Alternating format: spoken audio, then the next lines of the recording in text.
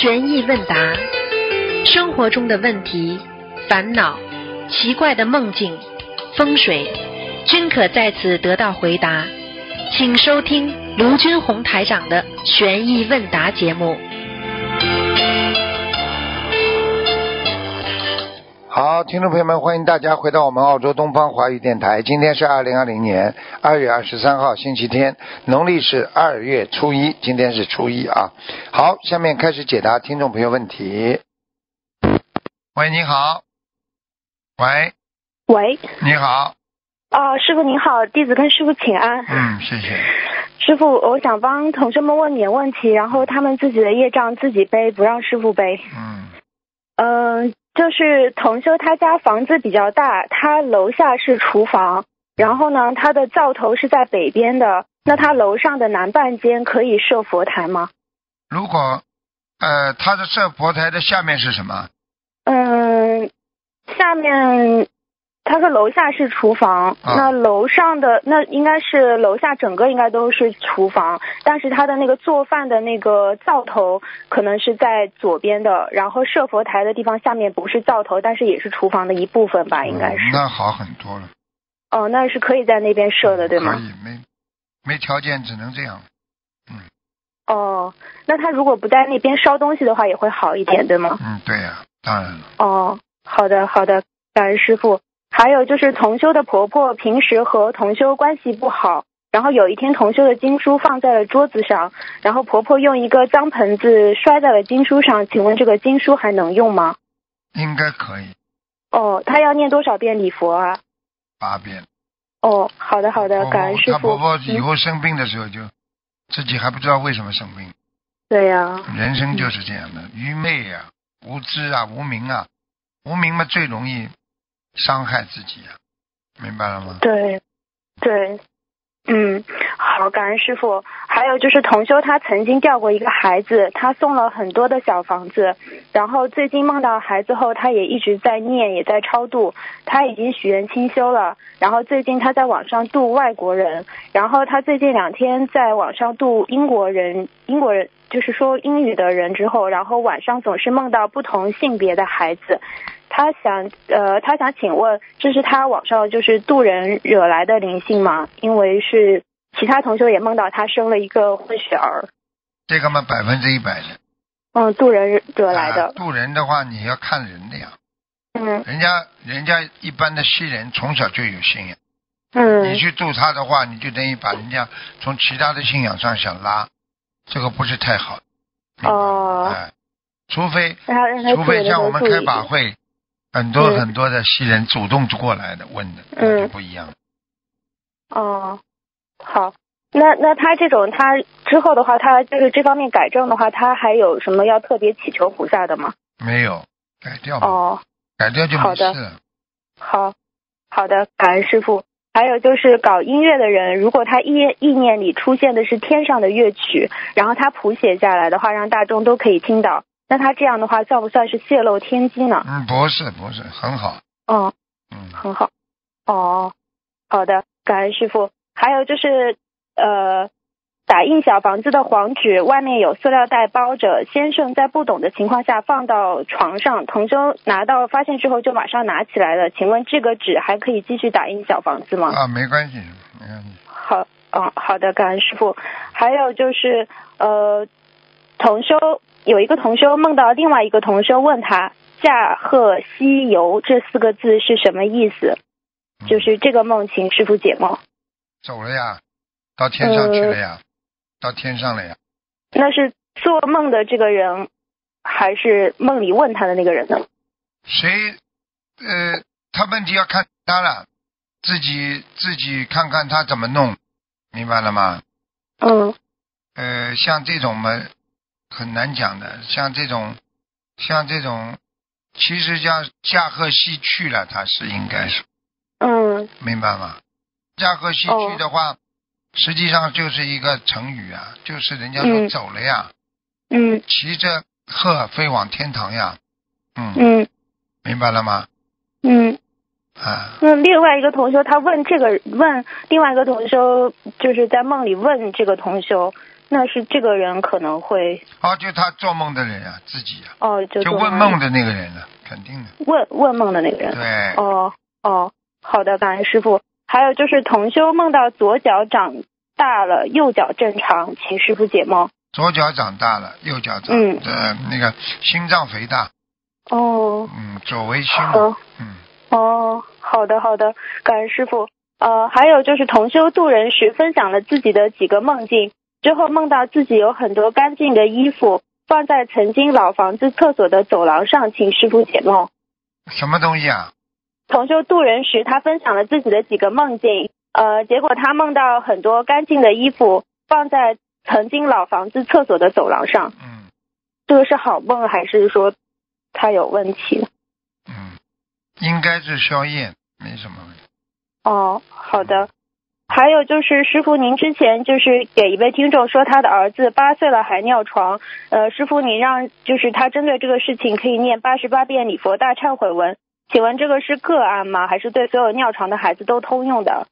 呃，个案，哦，个案。呃，好的没没办法，因为因为看图腾有时候看到的就叫他烧这么多，明白吗？嗯，明白了。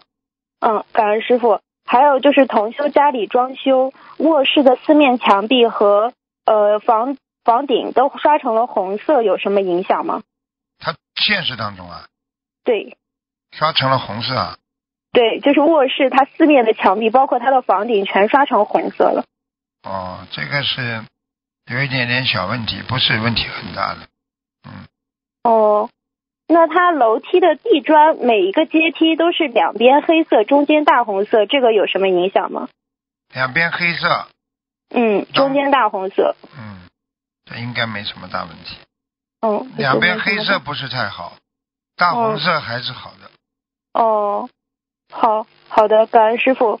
呃，还有就是师傅曾经开示，如果经常送别人或亲戚金银珠宝之类，会导致自己财运减少。但偶尔送没关系。同修想问，财布施应该得财运，他为什么会反而导致自己的财没有呢？送掉了呀，他有运气，他有财运送掉了呀。哦，你你你有钱是不是有钱了？但是你送掉了呀，嗯明白了吗？嗯，明白了。嗯，好，感恩师傅。呃，还有就是，嗯，同修梦到有有人拉了几十具亡人的尸体到他老家的房间，他一开始不怕，但后来很着急。现实中，同修离开老家的房子几十年了，但现在经常梦到老房子。这种情况，他是要念给房子的要经者，还是自己的要经者？房子的要经者，哦，房子的要经者。好的，嗯，就是同修梦见左手手掌心长了一根长毛，大概有十厘米。做梦人把它拔掉了，又有两根新的毛开始长。接着他额头中间也有一根很长的毛，请师傅解梦。要记住了，长头发是长烦恼。哦他现在一个烦恼解决了，一个烦恼又生出来了。哦，就是也是不断的这种。对呀、对呀、对。哦，好的，感恩师傅。还有就是有一个女师兄，她在二零一四年拜师了，然后她在一七年四月份的时候查出卵巢囊肿，已经念了一千五百张小房子，放生了七八七八千条鱼。最近她有一个指标经常反复，必须化疗才能控制。她做了一个梦，梦到她又住院了。在出院的时候，医生说五千九百元自己花钱，以后不给报销了，得自己花钱。想问一下，他这个梦和化疗有关系吗？是小房子的张数吗？不一定，反正就是说，他还欠人家的呀。嗯嗯，就是还欠小房子。对，好好念了，多念。哦，多您好的好的，感恩师傅。呃，还有就是同修梦到观世音菩萨和他说了两句寄语，他呃记不大清，但是他说大致的意思是，如果观世音菩萨的井哭了，他的井也会哭，所有人的井都会哭，就是那个干枯的枯。然后最近又梦见观世音菩萨唱歌，说我就是，犹如天籁之音，请师傅解梦。这有两种情况，一种是真的观世音菩萨，一种是一种显化吧，或者、嗯或者有童子啊、仙人呐、他可以显化。嗯如果你说观世音菩萨，观世音菩萨他是个大佛，你说他会哭吗？嗯，不会。啊，他这个颈怎么也不会哭的呀，嗯对不对呀？啊，对所以这个有问题，这个就是说明有一个人在学观世音菩萨的当，嗯他会紧哭，就是这样。嗯但是这个人可能也是有点能量的，明白了吗？嗯，好的好的。呃，感恩师傅。还有就是有一期的图腾节目中，师傅说有一位老妈妈为孩子跪着念礼佛，她孩子会受不起的。这个是个案吗？因为很多师兄他都是长辈帮助晚辈或者帮着家人跪在佛台面前念礼佛的。像这个情况呢是这样的，嗯你跪在菩萨面前，不是为跪孩子，是跪菩萨，嗯应该问题不大。但是如果哦你一个孩子的业障很大，他嗯不能念，他自己可以念，他不念。你妈妈嗯整天跪在菩萨面前替他忏悔，你就会慢慢的这个孩子就会受不起了。嗯，听懂了吗？听懂了。嗯，哦，好的，感恩师傅。嗯，还有一个梦是同修梦到有一张桌子和一把椅子，同修的衣服在椅子上面，有个人跟他说：“你的衣服占了财神的位置，请师傅解梦。所以你的衣衣服占了财神的位置啊，”对，那就是占了风水位了呀。他的有一个、有一个位置放的不是太好，拜佛的时候那个位置可能有问题，哦，家里拜佛的时候对吗？哎位置有问题。哦，好的好的，让他看一下。好，然后就是同修梦见去别人家用了对方家的洗手间，马桶盖上全是密密麻麻的小蟑螂。同修一揭开盖子，小蟑螂全部爬到他手背上，有好多，甩也甩不掉。请问这是做梦人的业障，还是对方同修家的业障？做梦人的业障。呃，做梦人他去别哦，好的好的，感恩师傅慈悲开始。呃，师傅您开示说说同修如果是被下杠头的话，要求太岁菩萨。呃，请师傅开示一下具体应该如何祈求？是直接求太岁菩萨呃化解和去掉呃就是被下杠头吗？对呀、你要跟太岁菩萨说，我某某某被某某某下杠头，请太岁菩萨帮我消除这个冤结，嗯嗯，然后让我能够啊不要被别人下杠头，我愿意怎么样怎么样，因为人家下下你杠头，你自己一定有缺点有错误的呀。嗯，那如果不知道是被谁下杠头，那就泛泛的求也可以的，就是？啊不要被人家下杠头呀。哦，如果你说不要被人家下杠头，下了杠头嘛，嗯这个太岁菩萨帮你想办法解解脱呀。哦，嗯，这是好因为你的好的，跪在那里拜菩萨的时候，菩萨知道的嘛，所以太岁菩萨嗯他帮你做，他就是正能量呀，嗯，明白了吗？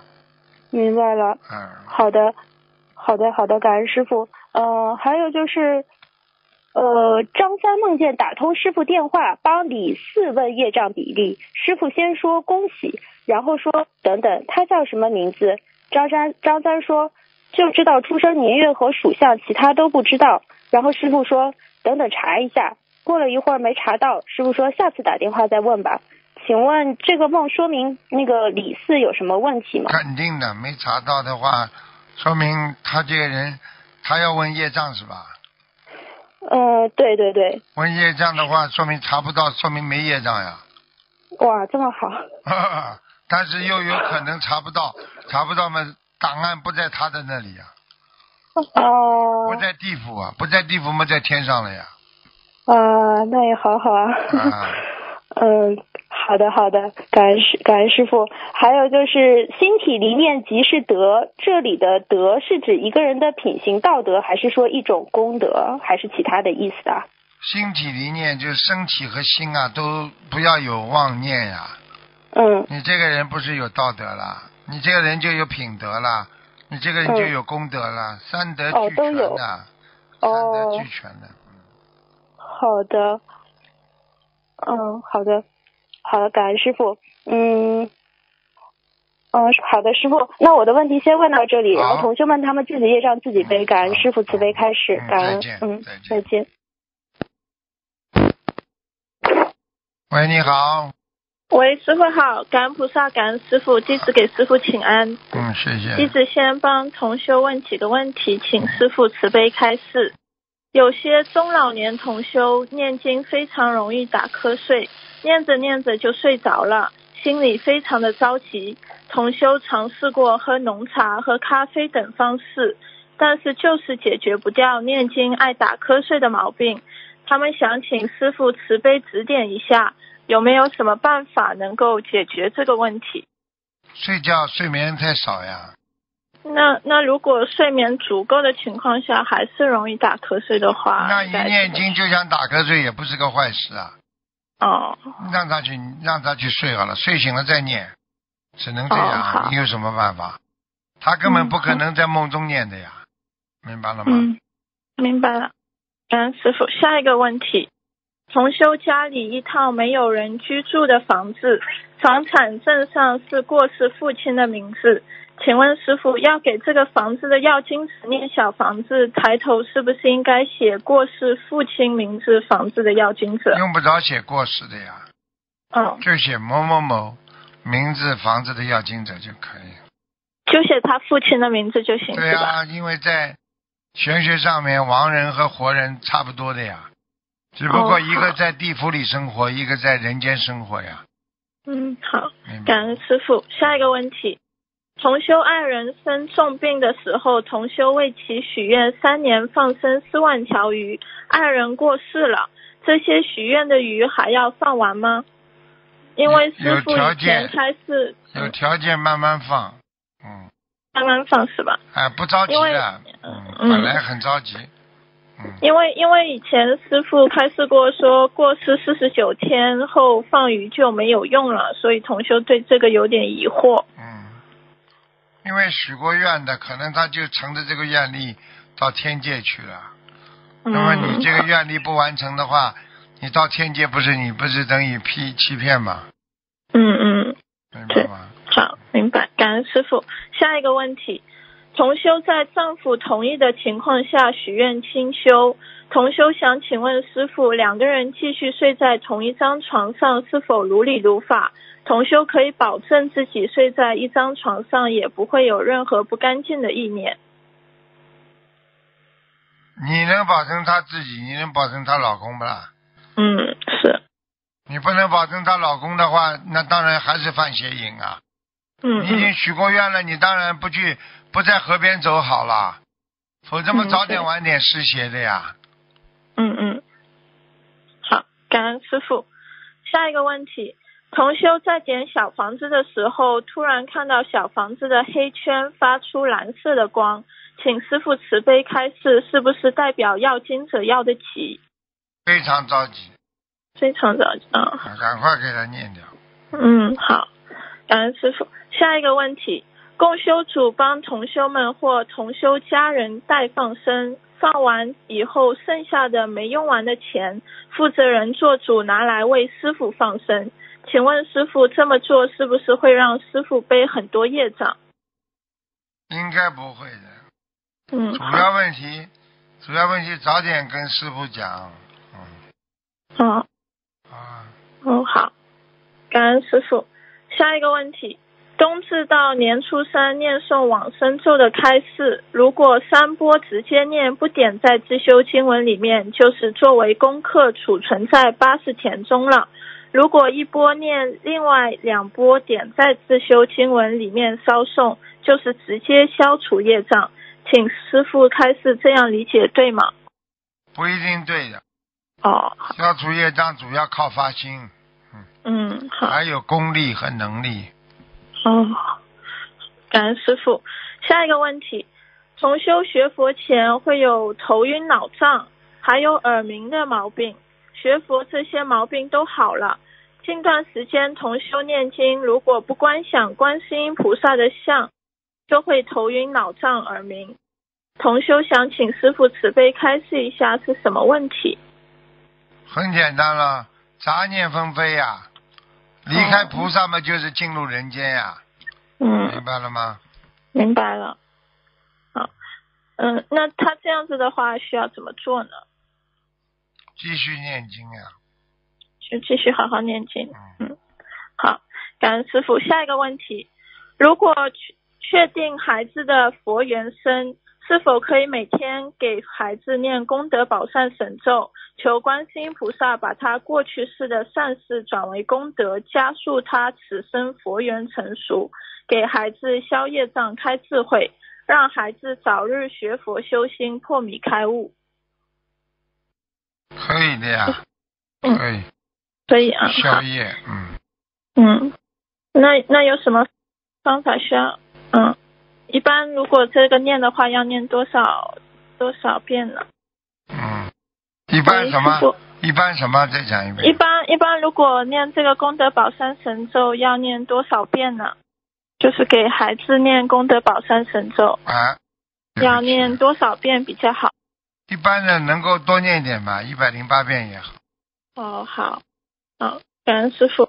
下一个问题，师傅开示好好做早课和晚课，一天就算圆满了。同修想请问师傅，功课白天全部念完了，晚上只念小房子，也属于晚课的，对吗？嗯，是的，嗯，好，嗯，师傅，嗯，您有点累，我先帮同修做个分享吧。嗯，谢谢。同修是，嗯，好，感恩师傅。同修是二十多年的糖尿病患者，全身浮肿，他的血糖高达二十多点，十几年来每天都要打两次胰岛素，不能间断。打胰岛素的同时，还要非常严格的控制饮食，晚上也不能吃饭，稍不留神血糖就会往上飙升。同修发心参加去年十月的吉隆坡法会，到了机场临登机时才发现忘记带胰岛素了。他心想只能靠菩萨保佑了，感恩大慈大悲观世音菩萨。同修在这七八天的法会期间，没有半点的不舒服，而且每日三餐照吃，饭量比在家的时候还要多。全程一直到回家，身体都没有出现任何问题。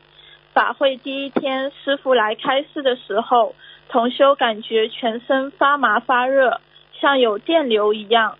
他知道是菩萨们和师傅加持他了。同修无比感恩观世音菩萨和师傅，在法会现场就许了吃全素和清修的大愿。同修从法会回来以后，全身浮肿也消除了，胰岛素也不用打了。到医院去测血糖，居然只有十点多了。同修太感恩观世音菩萨和师傅了，十几年了，必须打胰岛素才能控制的糖尿病，现在自然稳定了。感恩大大悲观世音菩萨，感恩诸佛菩萨及龙天护法菩萨，感恩师傅。分享中如有不如理不如法的地方，请观世音菩萨和护法菩萨原谅，请师傅指正。喂，师傅，嗯，嗯，分享当中有不如理不如法的，请师傅原谅，我听到了。嗯，嗯有点累好，有点累，嗯。嗯，对，好，对不起，现在好一点了，嗯。嗯，好，那那我继续问问题。嗯，快点了，小丫头。啊，好好。祝愿是佛台的师兄讲一句“我某某某个人的业障个人背”，不让今天设佛台的同修为我背业，是不是更加功德圆满？讲不讲都是一样，啊，帮人家背业嘛，总归有的，不是说你讲了就没有，讲了之后嘛好一点，哦，还是有的，因为你想帮他忙，你说能会不背不啦？嗯嗯，对，嗯，好，感恩师傅。下一个问题，请问师傅在初一十五可以开刀吗？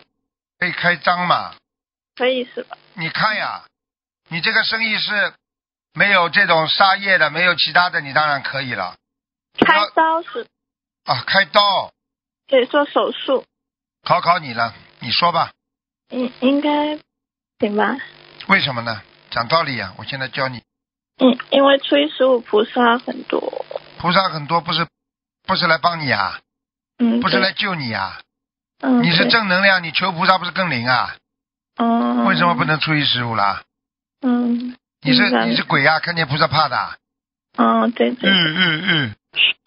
对不起师傅，啊。感恩师傅，啊，嗯好了，嗯嗯好，感恩师傅。下一个问题，重修手指上之前脱皮半年多，脱的指纹都不见了，许愿用三大法宝后好的差不多了，但是最近又开始脱皮了。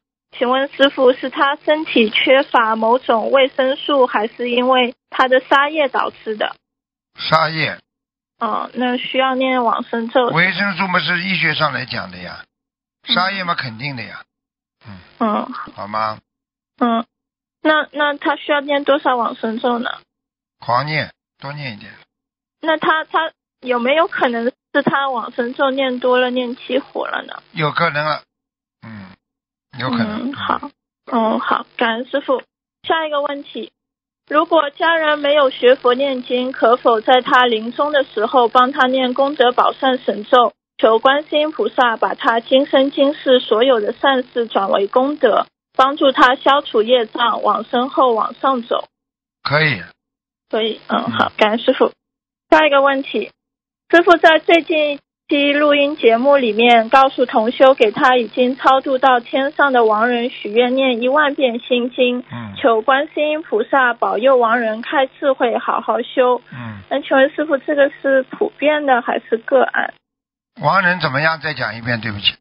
就是说，嗯，他已经超把亡人超度到天上的亡人许要许愿给他念一万遍心经，求观世音菩萨保佑亡人开智慧，好好修。哎，对，可以的，可以的，可以的。嗯，好，可以。好，感恩师傅。下一个问题，有位同修正在努力精进学佛修心，但是经常会有些佛友到这位同修那里说充满着负能量，这也会导致这位同修有时会亲近这些是非，并且有所动摇。请问师傅，这到底是什么因缘导致人家到同修那里说长说短？你这个人本来就是一个一个不好好修的人，人家就会来跟你说了，嗯嗯，对不对？近朱者赤，近墨者黑呀、他为什么跟你去讲啊？你经常不要听的人，人家就不会来讲了。你就是有时候还觉得蛮好听的，还跟人家搞搞弄弄，人家就来了。嗯那那应该怎么去化解这个事情呢？嗯，怎么去化解这个事情，让这个同修可以就是正能量呀，不要去不要去理别别人呀，嗯嗯，好，听不懂啊？啊听得懂。好，感恩师傅。下一个问题，六祖慧能的寄语讲到“本来无一物，何处惹尘埃”。师傅的开示也经常说到要空。那么，请问师傅，是否如果众生完全空了，就根本不会被五欲六尘所染着？那就是菩萨呀，嗯对不对呀？嗯，啊，你当然没了，你说你还怎么染呢？对 本来无一物了，何 对处惹尘惹尘埃啊？嗯嗯 就就说明没有任何的着相了，对吧？对呀、你想想看，你不着相，你不着着相人间任何一物、一个物体、一个物品，嗯，你说你怎么会惹上啊？对，对不对啊？对啊，你今天这个蚊子来叮你，你没有肉体，怎么叮啊？嗯，对，啊，你因为有肉体了，嗯它才叮啊。嗯，嗯，对，感恩师傅。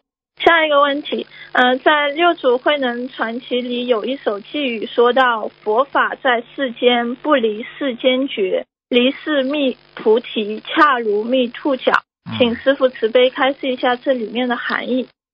很简单了，嗯菩萨啊，你想想看，你你自己觉得，你自己觉得这个事情有的，你就有了；这个事情没有，就没有了。什么叫嗯恰如啊？恰如啊，就是你刚刚找到一个，找到一个点，明白了吗？明白？啊，比方说啊，你本来无一物，何处惹惹尘埃，也是这个意思。你这个人在人间，你去寻找，明明是在空性当中，全部都是清净的心，全部都是没有的，或者你找到了一些东西，实际上这整整个就是一个兔角是什么意思？这个一点点的东西，可能这个东西根本、根本就是不存在的东西，你去看到了，你去找到了，你给自己制造心灵的一种烦恼和创伤，那你不是不就是没有意义的事情吗？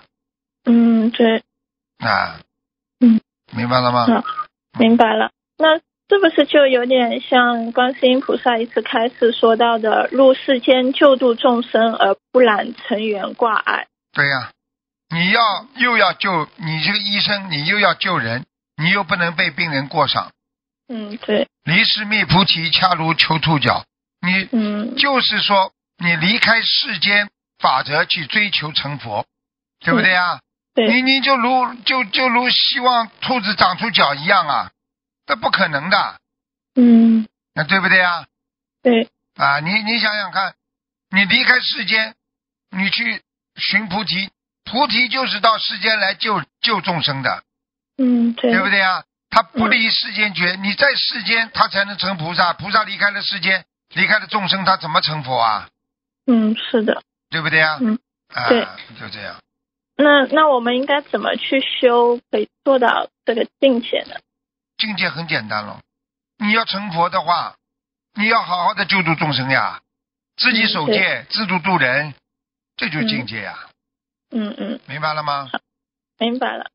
感恩师傅。嗯，下一个问题，嗯、请师傅从构字法解释一下智慧的慧。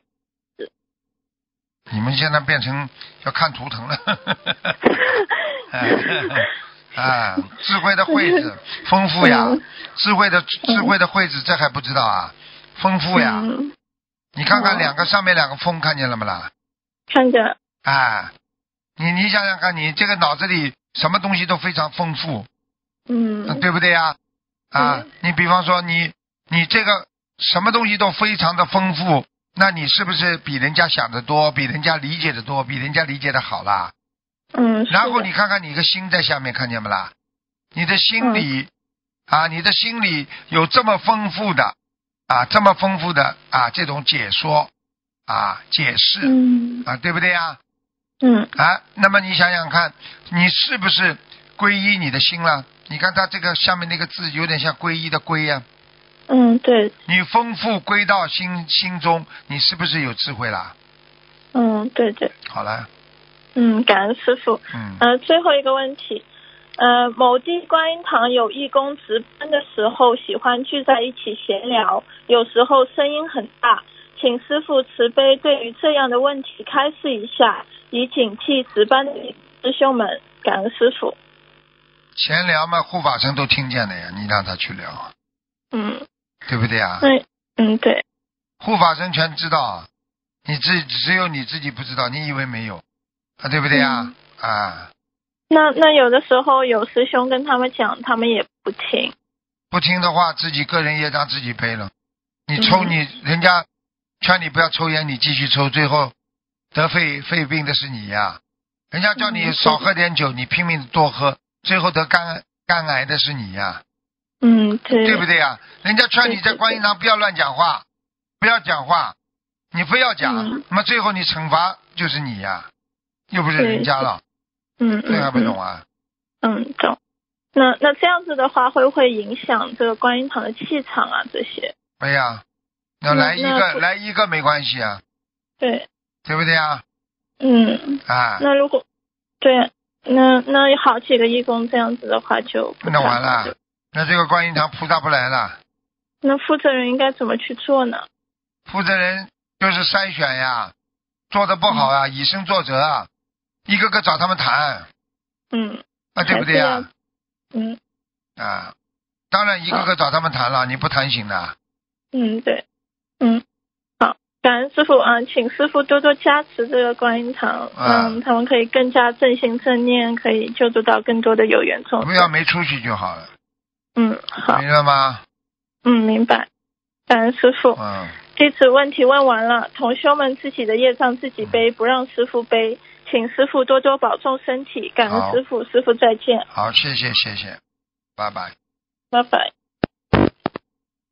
喂，你好，喂，师傅好，你好，感恩菩萨，感恩师傅，是给师傅请安嗯啊。弟子问一些问题，请师傅慈悲开示。嗯，嗯，请问师傅，我们知道皮肤疾病、肠胃不好，可能是和前世或吃的沙叶有关，沙叶有关。那请问师傅，我们平常是针对沙叶来用三大法宝去许愿去做，还是针对不舒服的地方，比如说肠胃啊、皮肤啊这样来许愿会比较好？那肯定的，你肯定的，你一般的啊、如果针对某一个部位会更好一点吧。好的，明白了。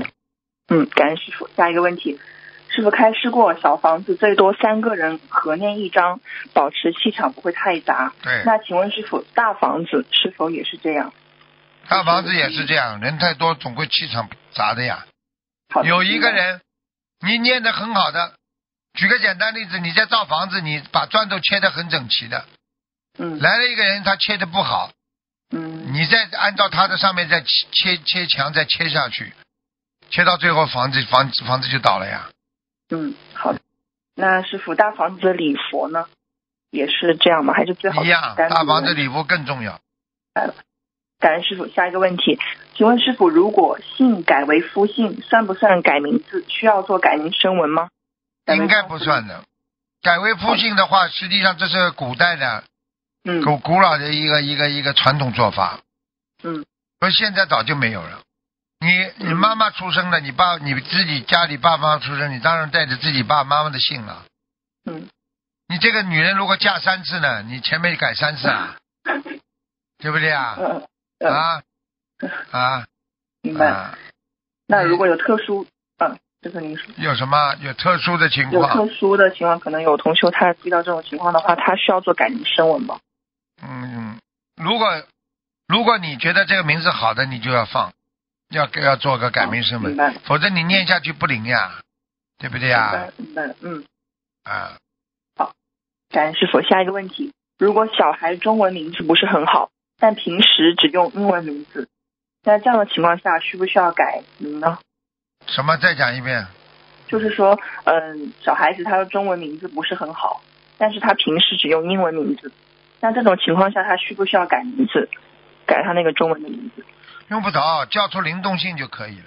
嗯，把英文名字叫出灵动性就可以了，是吗？对对对。好的，明白了。感恩师傅。下一个问题，请问师傅，小小佛台上观世音菩萨护身卡后面可以靠着有师傅照片的台历吗？那师傅的照片会比可以啊，嗯没关系，靠就好了。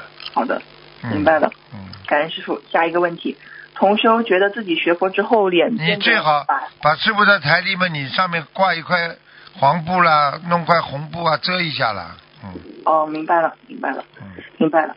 感恩师傅。下一个问题，同修学佛后觉得自己的脸变白了，请问师傅，这哦，好有事好事，就说明修的越来越好？越好呀，干净呀，白嘛就是干净呀，嗯，那和他的莲花是白色的有关吗？有关系还是。就是说莲花是白色的，可能也会帮助我们让自己的脸相变得对越来越对，好的，明白了，感恩师傅。嗯，下一个问题，请问师傅被师傅看莲花会加持莲花的长势吗？肯定的，百分之两百的。哦，好的，嗯，明白了。我问你一句话，有人关心你，是不是你更开心了？是的，哎，好了，嗯嗯，感恩师傅。下一个问题，同修梦到因为自己好的发心和意念，让自己的莲花从色界天升到了无色界天，请问师傅有这种可能是吗？呃，因为什么样啊？他感觉因为他自己一个好的发心和意念，让他的莲花从色界天升到了无色界哦，那。要看的，要大好，不是小好。哦，嗯，大好就会。嗯，好师傅，但是他的莲花是没有超脱六道，是不是说明他还是不好呀，嗯没有超脱六道，实际上至少也在无色界天呀。嗯，好的，感恩师傅。下一个问题，请问师傅，红点小房子点红点点的很好，很圆，那会增加这个经文组合的质量吗？嗯，你让机器印出来好了，更圆了，会有能量不啦？哦，主要是用啊，好，明白了。我问你，你这个支票，你签名都签的正正规规好了，有用不啦？没用的，哦，要自己签的呀。嗯，嗯，好，明白了。感恩师傅。下一个问题，嗯、尽管有慈悲加出一个图腾或者是问答，那请问师傅，这种情况是要什么因缘呢？刚刚你停掉了，听不见，再讲一遍。哦，对不起，师傅，就是说，尽管有时候师傅很累了，但是还是会在节目的最后慈悲，有时会在节目最后慈悲加出一个图腾或者是问答。那请问师傅，这种情况是要什么样的因缘呢，才能够打进去这个最后师傅加出来的？一样的，没什么因缘。你今天哦心诚则灵啊，你今天护法神，你好好求菩萨，护法神就会让你打进去。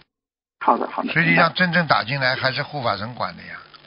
哦，嗯好的，嗯，就是多求菩萨啊、菩萨有意念，然后护法神就会执行呀，哦，好的，因为你求的还是菩萨呀，听不懂啊？嗯，明白了。感恩师傅，下一个问题，请问师傅，同修梦见穿之前干净的裤子是什么意思？很简单了，穿干净的嘛，就是说明消业障呀，嗯，尽管是穿的之前的旧裤子，就是把过去的业障消掉了呀。哦，干净的嘛就是消掉了呀，过去的嘛就是过去的业障呀，这还不懂啊？嗯，明白了。感恩师傅，下一个问题，梦见同修有一大碗饺子，太多了吃不完，另一个同修帮他吃了一些，请师傅解梦。分享呀，他分享让对方也得到的，得到的善处呀，好，就是两个人都有果是吗？对呀，两个人都有善果了呀。好的，明白了。感恩师傅。下一个问题，同修梦见母亲坐在小船向前开，同修在岸边一直跟着母亲的小船，一边向前走，一边念阿弥陀佛，一边跟母亲说别害怕。同修突然想起来，我学心灵法门怎么念起阿弥陀佛？应该念观世音菩萨。那现实中，呃，二零一八年师傅看图腾，母亲在无色界天，说母亲已经是菩萨了。还有人间的四到五年，也就是天上的四到五天就超出六道了，请师傅解这个梦。是啊，都可以的呀。心灵法门，观世音菩萨、阿弥陀佛。我问你，阿弥陀佛边上站的是谁啦？观世音菩萨，好的菩萨没有分别心，你们有啊？对不起师傅。嗯，嗯，那就是说明他的母亲往上走了呀，往上。走了呀。好的，明白了。感恩师傅。下一个问题，请问师傅，人的固定思维是否是一种执着？我们应该如何克服呢？固定思维当然是执着的一种了，因为我就是不变，我就是这样，对不对啊？那么执着也分的呀，啊，要善执着，啊，恶执着都有的呀。善良的执着，我这个小时候养成的啊一个习惯，好的我就一直在做，对不对啊？啊，嗯那么这个如果你做这个事情已经形成了一种毛病了，那就不好了呀，你就不能再坚持下去，再坚下去，坚坚持下去就是执着了呀，明白了吗？好的，明白了。嗯，感恩师傅。下一个问题，嗯，弟子很喜欢师傅开示的一句话：人生要有两个境，生命要安静，慧命要干净。想请师傅再开示一下这句话。慧命你必须要干净呀，你不干净的话，你没有慧命了呀。嗯你智慧啊，你智慧这个人怎么会不干净啊？对不对啊？嗯你做人怎么要不不安静啊？你说过毛毛躁躁哪件事情做得好的啦？嗯毛毛躁躁这不出事才怪呢。嗯你看看很多很多孩子做错事情，全部都毛毛，开车毛毛躁躁嘛，腿压断了；嗯结婚毛毛躁躁嘛，好了，离婚了；嗯在单位里毛毛躁躁嘛，整天换工作。嗯很多人毛毛躁躁的，把手压掉了，嗯对不对啊？嗯，啊，就是这样，没办法。好的，明白了。感恩师傅。下一个问题，请问师傅穿渐变色的衣服可以吗？比如说上面是白色，下面是浅蓝色这样子的。可以的，哦，记住了，上面最好是白色。嗯，好的，明白。感恩师傅。下一个问题，请问师傅，玄学上来说的话，胎儿为何会就是在没出生之前就在妈妈肚子里往生了？玄学上来什说什么，什么？你说什么？就是说，从玄学上来说的话，胎儿为何会什么叫为何啊？为何会的？我知道什么鬼为，就为什么会死胎？魂魂走掉了也会死胎呀。哦，啊，他不愿意投胎了，他一看你这个是怪胎，他不投了呀。嗯，明白。你比方说，你看澳大利亚很多女人抽烟喝酒，生出来这个胚胎，刚刚这孩子要来投胎的时候，一看这个胎出来肯定是个残疾，他不投了呀，他走了嘛，这个孩子就死胎，胎死腹中了呀，嗯明白了吗？嗯，孩子也有选择的权利的，你别看他，嗯嗯嗯，好的，感恩师傅。呃，最后弟子想问一下师傅，弟子现在有两个选择，应该选哪一个？我怎么知道？就是一个要看图腾的。哦，对不起师傅，今天不看图腾，你整天选择好了，你自己 托菩萨做个梦不就好了？把这个梦来问我，不就看图腾了吗？就是弟子有两个中介，一个男男的，一个女的。我现在你问我没看图腾，做梦，对弟子做梦，弟子做梦就是说梦到，呃，梦中是弟子两个认识的同学，一个女同学说她找不到工作，一个男同学说他找不到，是不是应该这是找到还找不到？我听你这话找得到？对不起，师傅，就是说女同学找不到工作，男同学找得到工作，是不是应该选那个男的呀是，的这？还不懂啊？你睡觉之前是问这个事情不啦？当时没有具体的问这个，大你要问的，你要问了这个事情，做这个梦肯定是的。你没问这个事情就不一定了。你们以后如果实在这个这个这个看图腾打不进来，你们就是自己问呀。问了之后晚上把梦一定要记住，记住来问我，讲出来的百分之八十都是准的，好的好的，好吧？感恩师傅。因为嗯做梦做出来八十，师傅给你们一一讲就知道这条路应该怎么走了。你这样的话，你平时不看图腾，我也能告诉你呀、嗯，好的，明白了。好了，感恩师傅。弟子最后读同修的一个分享：放生归来，躲过车祸，是我救了鱼儿的命，还是鱼儿救了我的命？七月九日放生，今天要放的全是黑鱼。先去山里找水库水源，水质好，但周围有居民，黑鱼会停在边上不走，怕周围的居民看见来捞鱼。后决定到长江中心放生，到长江渡口走高速还要好几十公里。我在前面开，鱼车在后面，途中车轮声音不对劲，仪表盘显示检查车轮胎压，我没有太在意，一心只想快点去放生。到了渡口，摆渡到江心开始放生，两千条的黑鱼开开心心、欢欢乐乐的回家了。阴雨的天气挡不住我快乐的喜悦，一条条的生命又能延续了。放生完，开车准备回家，车轮胎的声音提醒我，轮胎有问题要检查了。回家还得开一百多公里，怎么办？我不会修。放生完已经快傍晚六点了，天气阴雨天，该怎么办？我不去想了，交给菩萨吧。我一边开一边念着大悲咒。天气越来越暗，想起师傅的话，紧急情况下就念观世音菩萨的圣号。我心中有菩萨，心中有师傅，我就又开始念南无观世音菩萨。念了一个小时左右，下了高速，到了汽修厂，检查车轮胎，四个轮子全是二点零。工人说轮胎没问题，我呆站在那儿。我在高速上开了两百公里左右，仪表盘一直显示检查车轮胎，车开起来的声音就不同。我呆站着，盯着右后轮，蹲下来叫老板看。我说：“你看这个轮胎。”他傻了，轮胎里的钢丝一根根的都爆出来了，长长的口子。他惊叫：“你是怎么开来的？开了多远？”我告诉他：“我在高速上开了两百公里到这儿。”只见他傻了：“你的命怎么这么大呀？我修这么多年车，没见像你这样开车的，胆子这么大，没有人敢这样开车。别人一个小小的洞，高速上都会爆胎。你这车轮足有三十公分这么长的口子，而且开了两百公里，怎么能做到的？我说我是学佛念经的，我在路上念了一个多小时南无观世音菩萨，开到你这里，而且我一点都不怕，菩萨把我安全送到这，真的有菩萨，观世音菩萨是有求必应的。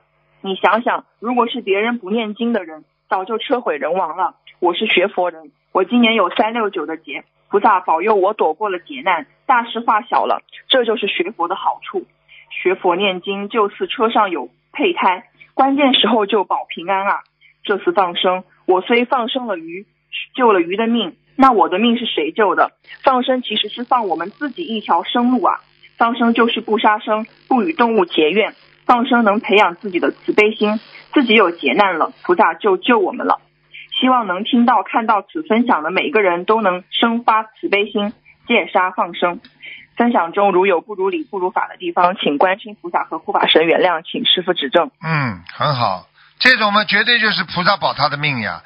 众善奉行啊！我告诉你，任何人一个善举边上都有菩萨保佑的，嗯，明白了吗？嗯，明白了。好了，感恩师傅，弟子今天的问题先问到这里。同修自己的业障自己背，不让师傅背。好请师傅保重法体。啊啊好我们都很想您，希望能早点见到你。感恩师傅，啊，师傅再见。再见，再见。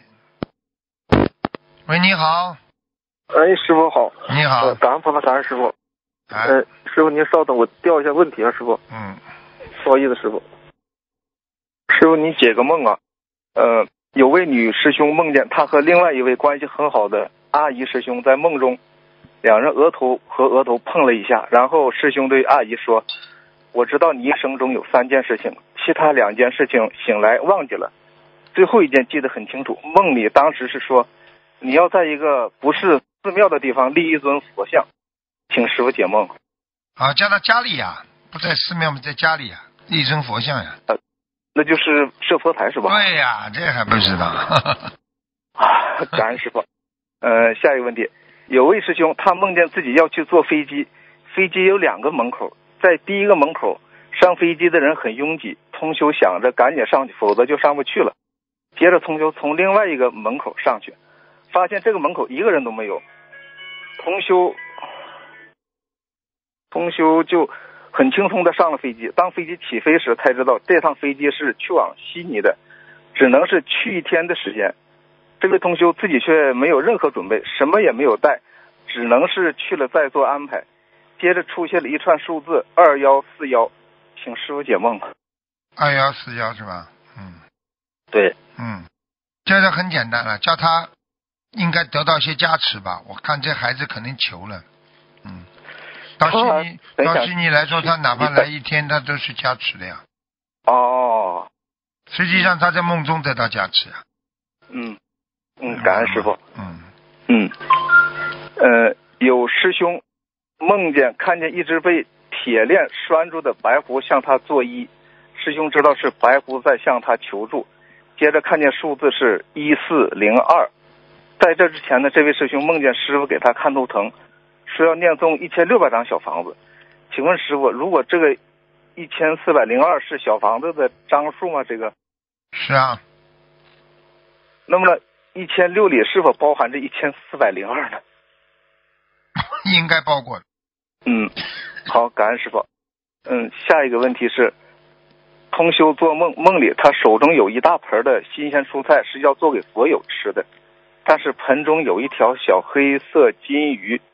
通修心想把它放生，就单独用一个放好水的盒子装装好金鱼，出去找找小河放生。可是外面很热又很晒，金鱼慢慢就死掉了。这时通修找到一条小溪，准备试一下把这条小金鱼继续放水里，看看能否救活。他放下以后，发现一条比这个小金鱼还大的金鱼游走了，接着又游走几条大鱼，是小金鱼没活漂在水面上，这是什么意思呢？请师傅解梦。小金鱼干嘛漂在水面上啊？对，小金鱼死了，但是有一条大金鱼游走了。哦，小金鱼死了，有条大金鱼救了。我告诉你，他放生的时候有有死有活的呀，叫他当心点了。就是放生啊，放，啊，放生放生放生有的鱼是死的呀。嗯，是是是，嗯，嗯嗯。下一个问题是，同修梦见自己脖子后面有两颗痣被去掉了，请师傅解梦。两颗痣去掉了脖子上啊，压力去，掉去掉两个有压压力，去掉两个压力。啊嗯，好好，感恩师傅。嗯，呃，同修问：许愿礼佛忏悔，请菩萨加持帮助消除阻碍自己出家的业障，嗯这么许愿可以吗？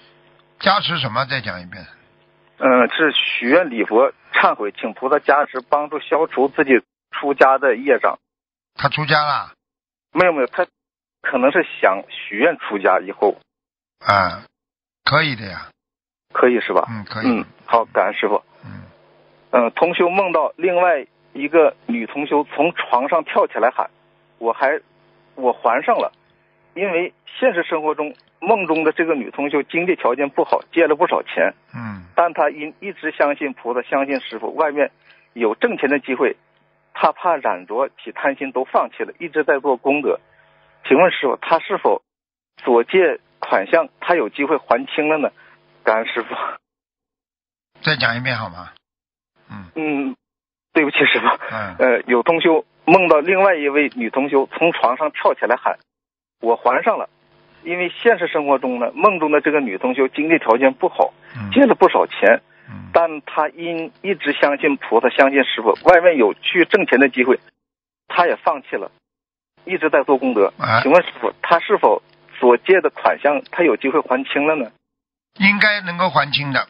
嗯，嗯，好吧。感恩嗯嗯，感恩师傅。嗯嗯，师傅累是吧？不不累不累不累不累，讲吧。嗯嗯嗯，那么好，感恩师傅。嗯同修妈妈做梦说贾师兄家里的房子卖了，嗯，请问师傅是否是小房子质量不好，还是真的要卖房子？因为他的经济条件一般，嗯，应该说是小房子，嗯，质量一般是吧？哎，一般嗯一般卖了嘛，就是能够能够用呀。你问问他哦给不给？你问他给给了没给人家小房子，什么就好了，就知道了。哦他如果结缘给人家小房子嘛，就要卖了呀，人家肯定送他礼物了，或者给他帮忙了。哼哼嗯 嗯，感恩师傅。嗯呃，同修手里有好多吃的饭菜以及点心，但是在教室里面听开示的师兄看到之后，纷纷过来抢食物。同修梦里就先让大家回去认真听开示。请问师傅，是同修的果被无形众生抢走了吗？为何这些师兄不好好听开示来抢他的食物呢？那很简单了，那就是他欠的，他跟他们有缘分呢。嗯，那些师兄他帮他们背呀，人家就来抢他食物了呀。哦，是这样的是吧？哎，对了，嗯，嗯，好，感恩师傅。嗯，请问师傅，彩虹上面的菩萨是东方菩萨还是西方的菩萨呢？什么菩萨都有，彩虹不属于哪位菩萨的。嗯，彩虹它是一种哦自然的，一种每个人身上都可以修成的色彩、光环和坛城，明白了吗？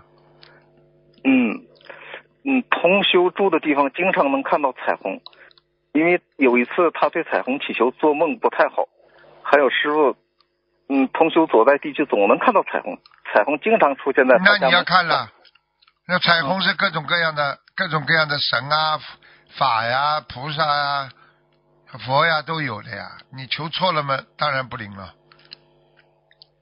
哦，啊，你比方说，你马路上拉住一个不是管你的、管你问题的人，你跟他求，你当然灵不啦？当然不灵啊！嗯，是是是，啊，嗯，下一个问题，师傅，否则为什么要设？否则为什么要设佛台啦？否则你在家里你就直接弄画一根彩虹在家里求彩虹好了，谁都可以过来。你当然要定点的啦，求的呀，对不对呀？是是是是啊是，，嗯嗯，师傅有一个八岁的孩子做梦，他梦到一个很高大的雪山，他爬了很长时间，他说是爬了一个月才爬上去。上去后看到很多菩萨，还有很多人围着菩萨在跳舞，请师傅解梦啊。天上了，他到天上了，嗯，而且很高。哦，那么这个小孩子的就是有佛缘吗？有啊，境界佛缘都有，但是人家都到天上全部都是歘一下上去的，他爬上去的。他爬了很长时间。对了，爬很长时间，那说明他佛缘是有，但是他他这个这个这个能量不足啊。嗯好好好。嗯嗯，请师傅开示一个问题，在人生八苦中，师傅开示最后一苦有五阴炽盛苦，但是在弟子辅导手册里面，最后一苦是五取运苦。请问五蕴炽盛苦和五取运苦有什么区别呢？五取的我们曲在红五取是怎么写的？取得的取，取得的取，啊，五取运苦，五取运苦是吧？对对对。哎，差不多的。嗯，那我们在弘法的时候应该讲哪一个比较好呢？当然当然了，五蕴炽盛苦了。嗯，嗯，对不对？好，感恩师傅开始哎。嗯，呃，有一位女师兄在二零一四年拜师了，在二零一七年四月份查出卵巢肿瘤，已经念了一千五百张小房子，放生七八千条鱼了。最近她有一个指标经常反复，必须化疗才能控制。她做了一个梦，梦到她又住院了，出院时医生说五千九百元自己花钱，以后不给报销了，得自己花钱。想问一下师傅，她这个梦和化疗有关吗？是有啊小房子数解量吗？决了呀，化掉了。化掉之后五千九百元要自己念了，那那大概得需要多少张小房子？五百九十张至少。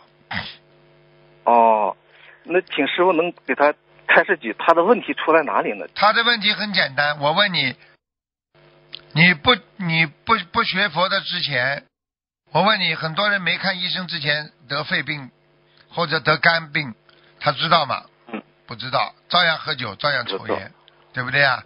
等到他哪一天碰到医生了，医生给他查出来了，你说怪怪医生吗？嗯，不能。好了，你你过去本身本来就有业障的，你这种病如果早查出来好还是晚查出？你你一拜师了，你好了，把你毛病查出来了，不就救你一条命啊？是嗯，他怎么？讲的？怎么理解的？你不拜师的话，你可能连这个姻缘都没有，菩萨都不让你查出来，你到时候就直接死了。有多少人就是等到查出来的时候已经是晚期了，还听不懂啊？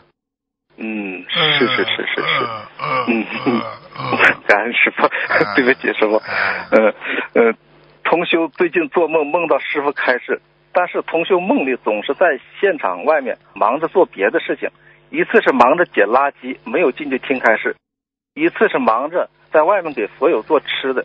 请问师傅，他梦中为何会出现这样的情景？做吃的，嗯捡垃圾，这捡垃圾嘛，就是本身就是身上还有劣根性呀。哦，啊那还有一次是给佛友做吃的，也没进去做。吃的话，他是帮人家背呀，哦，啊，他，渡人了呀，帮人家背呀，这还不懂啊？嗯啊，嗯是。啊嗯，感恩师傅。呃，有位师兄在元旦节上头香时，看见菩萨胸口处有一片莲花瓣，红色的花瓣，然后就消失不见了。请问师傅，这是代表什么呢？菩萨，你看到菩萨胸中有一个莲花瓣的话，说明映照的就是你的莲花呀。你看见的菩萨的心中的莲花，就是你，因为你看到了菩萨，菩萨把你照出来了，他照进你了，照见你的了。照见你的莲花，哦你看到的就是菩萨，就是像面镜子一样，哦，那他这个花瓣不见了是？那就不好了呀，没修好呀。哦，啊，这样的是吧？啊，嗯还是师傅。啊，嗯，还有一个问题是，嗯，同修早上做梦来到了西宁观音堂，要上香给菩萨请安，但是被秘书处师兄告知要用自己的香。同修很奇怪，因为之前没有这样的规定。这时候有一位悉尼当地的师兄说这里有香可以结缘给他。当他拿出三支香后，发现香就像点燃了一样，上面的香已经出现了香灰。之后做梦同修就说没事，我自己去请一盒。他就想找自己的包，可是怎么也找也找不到。请师傅慈悲解梦。这很简单了，心香呀不够呀，要用自己的心香呀。讲的讲的，实际上这种这种梦在梦中的话，就是说明他自己的心还不够诚呀。哦，啊是自己的问题是吧？对喽，嗯，嗯嗯，感恩师傅。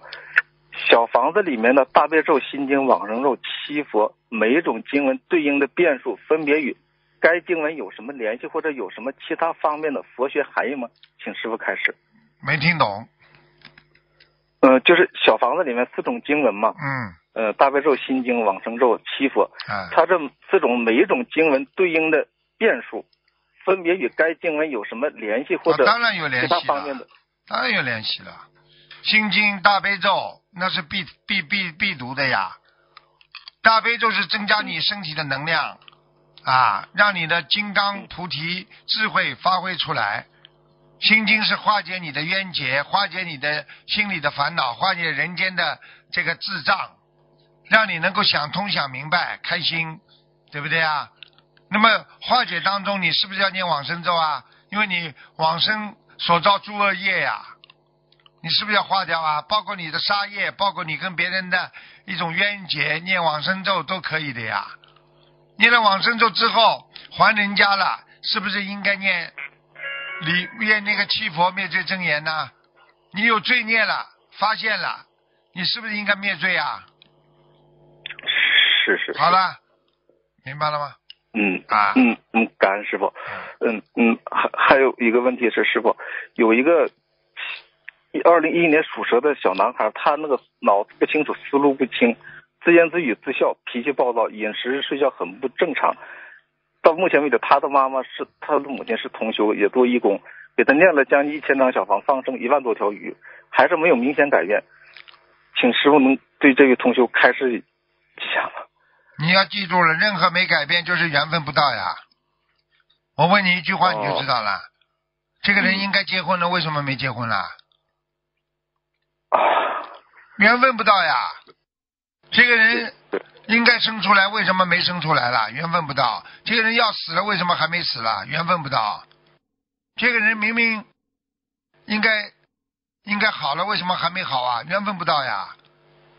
这个人应该赚钱了，为什么已经知道赚钱，为什么钱没拿到了？缘分不到呀。等到钱拿到了嘛，缘分到了呀，水到渠成呀。好了是是是。啊，嗯，下一个问题，师傅，同修做梦，地府有个灵性说，玉界天的亡人还欠他十四万冥币，请问师傅是多少小房子呢？十四万冥币啊，很多了。嗯，哦，十四万冥币至少给他一百四十张吧。哦，那梦中玉界天的天人生病了，是不是预示着他已经掉下来了？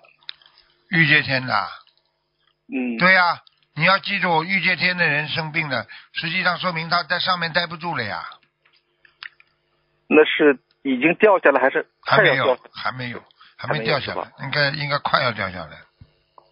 哦，那就抓紧念小房子了，是吧？嗯对呀、嗯，对呀、嗯，是，感恩师傅。好好修吧，好吗？嗯，嗯，好，感恩师傅，感恩师傅。好，嗯，好那，再见，师傅。再见，嗯再见。嗯嗯。喂，你好，喂，喂，你好，快点，给你，师傅好。哎，给你快点，给你，只能给你给你七分钟时间，七分钟时间。啊，好好的，对不起，师傅，刚刚没听到。嗯，嗯，那请问师傅帮同学问几个问题啊？嗯同学们自己的业障自己背，不让师傅背啊。请问师傅就是呃，小房子里的往生咒跟七佛，如果只念一遍题目，跟每遍都念题目，效果是一样的吗？差不多。嗯嗯，呃、念题目呃，念题话可以。念题目嘛，表示尊敬一点；不念题目嘛，也是正确。因为你念的里边的经文本身就是嗯是本身就是这个这个经文呀，所以没什么大问题。嗯，嗯，好的，明白了。感恩师傅慈悲开示。然后请问师傅，就是灵性有没有怕热或者是怕冷的说法？灵性啊，有的呀。嗯，你想想看，地狱有没有火山啦？嗯，地狱有没有冰窟啊？好啦，你说鬼怕不嗯怕啦？不怕，为什么要搞冰窟、搞搞火山啦？好啦，哦，好的，那，明白了，感恩师傅慈悲开示。然后请问师傅，就是比如说去参加法会或者是外出弘法，如果有特殊的原因不能如实告知的话，这种善意的谎言算妄语吗？回去要忏悔的呀。不伤害别人的谎言、哦，也算谎言。你既然已经说谎言了，你就得忏悔。只是说善意的谎言不伤害别人，罪孽很小，可能一忏悔就没了。你如果伤害到别人的谎言，那你就有业障了呀，明白了吗？嗯，明白了，感恩师傅慈悲开示。嗯然后请问师傅，就是上大香的时候，一般不都是拿那个镊子夹着大香吗？嗯，如果我们设佛台的时候，呃，主人是年纪比较大的同修，他这上大香会比较紧张，他可不可以就只是把手洗干，手去持着大香上香？可以的，一定要干净呀。嗯，嗯，洗干净手就可以是吧？对对对，嗯，好的，感恩师傅慈悲开示。嗯，请问师傅，就是如果香打卷儿的话，怎么判断是菩萨来了还是护法神来了？你看不出来的，这要我看的。嗯，哦，你怎么看得出来啊？嗯好的，他就是给你一个显化，嗯，你看得出来的。转两圈菩萨，转三圈佛，转一圈护法神啊。哦，是我我们等你看到的时候已经掉下来了，那菩萨跑了。谢谢师傅慈悲开示。嗯，师傅还有一个同修的梦境啊，他梦到背着一个四五岁的孩子在逛街，意念中是孩子，然后马路边上呢有一个大娘跟他打招呼，就聊到孩子，聊着聊着呢就要抱走他的孩子，感觉是要骗走他。嗯然后呢，他就请路边上的人打电话报了警，他才觉得安全。然后同修呢，现实中在打超度打他的孩子，请问师傅，这个别人要抱走他的孩子是什么意思？啊，这人家要拿走了呀，拿走了呀，这还不懂啊？就是他自己超度的孩子要走了呀。嗯，那是要超度走了是吗？对呀，很快要超度走了呀。哦，明白了。嗯，感恩师傅慈悲开示。然后，嗯、还请问师傅一个问题，就是，呃，曾经退转过的人，他需要念多少遍礼佛和小房子才能消除他这份业障？曾经退转过的人要念很多很多很多，因为你退转的看你退转的时间念了多少，你退转的时间越长，你念的小房子要越多，礼佛要念的越多。你曾经有过，比方说你曾经有过已经伤害过这个这个心灵法门了，那你肯定还要还要这个付出的这个忏悔还要更多，嗯，而且可能、哦可能会已经有成为一个业了，成个业你要消业的话，那就不是一般的了，明白了吗？所以千万哦，你可以你可以懈怠，可以当时不做，但是你不能，你听得懂吗？但是你不能就是、嗯嗯就是来来诽谤啊，来来来退转，退转和诽谤都不是很好的事情。嗯，嗯，好的，明白了，感恩师傅慈悲开示。然后还有，请问师傅一个现实中的问题，就是有的人呢，他嘴巴会觉得跟不上脑子，那就是脑子里已经想到要怎么做了，但是他表达不出来，那这是一种什么现象？大脑不够使唤呀！你想想看，大脑里有，嘴巴讲不出来，你说你这个大脑行不啦？对不对呀？嗯，你想想看，你一个人如果、嗯嗯你如果一个人脑子里想表达，但是嘴巴里不出来，很多时候我嘴笨，不是嘴笨呐、脑笨呐、嗯哦因为因为嘴巴是受脑子控制的呀，这还不懂啊？明白了吗？哦，啊，好的，好，明白了，感恩师傅慈悲开示。然后还请问师傅，就是有的人呢，他很容易把别人想得很好，呃，就很容易相信别人。那这样是不是也不太好？因为他如果发现对方不是自己想的那样，就会容易失落。他这样是不是也不好？啊对呀、那就是应该中观中道呀，对不对呀？嗯，就是中庸哎、中庸最好呀。你不要把他想得太好，你也不要把他想得太坏，你就不伤自己了呀。你把他想得太好了，你达不到你这个观点，那你不是伤自己了，对不对啊？嗯。呃呃，你如果你如果今天你如果今天把他想的太坏了，啊，万一万一人家很好的，你伤别人了呀？对对对，嗯嗯。嗯，感感恩师傅 慈悲开示。然后再请问师傅一个问题，就是天赋是怎么来的呢？